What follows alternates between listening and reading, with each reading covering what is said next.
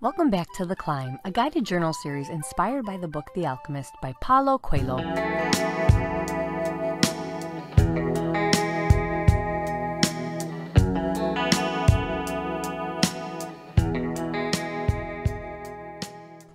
I am honored to have you here once again. If this is your first time here, please go back to Journal Series number one, which will be in the down bar below, to get full detail on what this series entails. If you want to start here, you are more than welcome.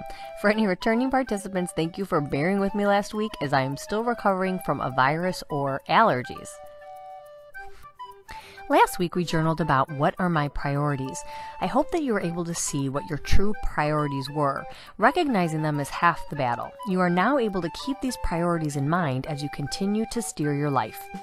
As a practice for myself, I revisit the question from journal series number one every day or at least once a week. This question is so powerful, and I pray that you exercise it as much as you need to. I highly recommend it.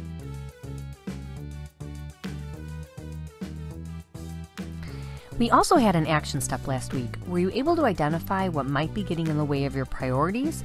Little by little, you can shift and start to put your priorities front and center once again. Please feel free to tell me in the comments below anything about this experience. As well, you can chat with me on my Instagram at Mrs. Love Above All. Let's move forward and discuss this week's journal topic. Who or what are you following? Pause the video and grab your journal and or paper and pen. Our topic is Who or What Are You Following? In the book The Alchemist, this line jumped out at me. If God leads the sheep so well, he will also lead a man. He thought, and that made him feel better. So concerning this topic, who or what are you following? It led me to Matthew 6:25 about worrying. Therefore I say to you, do not worry about your life, what you will eat or what you will drink, nor about your body, what you will put on.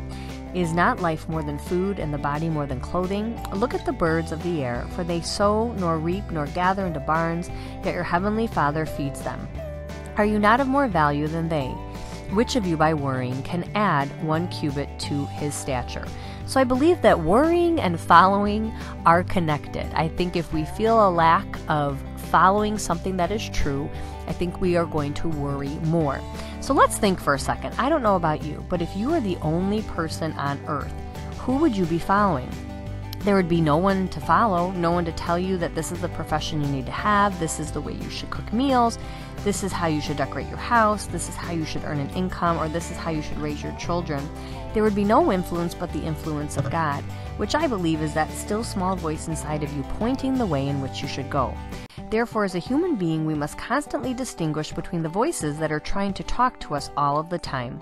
When it comes to our mission here on earth, as we are trying to figure out what direction to go, we must take in all information to the best of our ability, and we must follow and trust peace. Peace will lead us to where we need to go. We are coming into contact with a million pieces of information on a given day. Some of that information punctures our heart like anxiety, fear, depression, etc., and sometimes we are punctured with peace. That feels better. Just the knowing is what we are looking for. If we let peace guide us in our moments, we will have more joy and less detours when it comes to following our true path.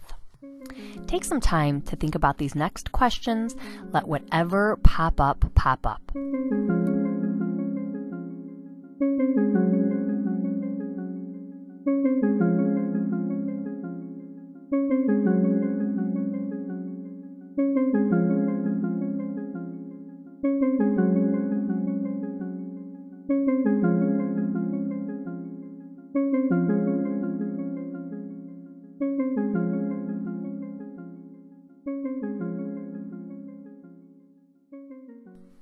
It is now time to write. Keep writing for the whole time. Replay this if necessary. Stop when your spirit has stopped speaking. And just remember there's no right or wrong answer. The journal topic for this week I want you to drop down to your heart and just let's take a breath. Be honest with yourself. Who or what leads you moment to moment? And how do you know this? If you are being led by something that is not pleasing to you, how would you change it?